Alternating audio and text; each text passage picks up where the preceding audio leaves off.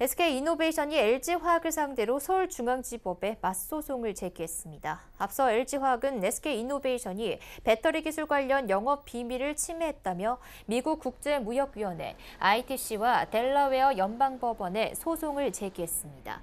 SK이노베이션은 LG화학에 명예훼손에 따른 손해배상 청구 소송과 영업비밀 침해가 전혀 없었다는 내용의 채무부 존재 확인 청구 소송을 제기했다고 밝혔습니다.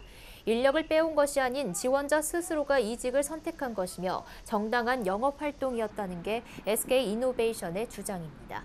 또 LG화학의 이번 소송이 아니면 말고식 소송의 전형이라는 비판을 덧붙였습니다.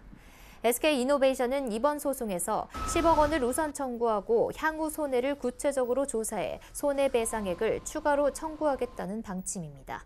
LG화학은 이에 대해 정당한 권리 보호를 위한 법적 조치를 두고 맞소송을 제기한 것에 대해 유감스럽게 생각한다는 입장을 밝혔습니다.